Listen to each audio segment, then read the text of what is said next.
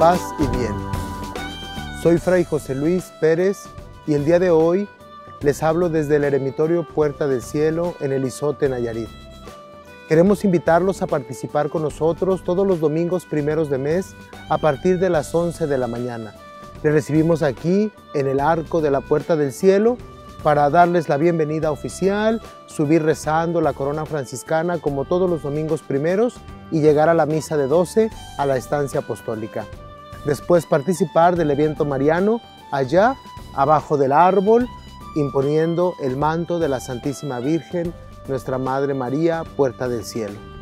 También para todos aquellos que tengan el deseo de participar de una experiencia de silencio, de oración, de contemplación, los invitamos para que se comuniquen con nosotros y puedan así agendar una experiencia de tres días, de una semana, de 15 días, de un mes, según la disponibilidad de nuestra agenda siempre venir al eremitorio Puerta del Cielo es buscar un encuentro con Dios, con la naturaleza, con nosotros mismos y por supuesto tomados de la mano de nuestra Madre María, Puerta del Cielo. Paz y bien.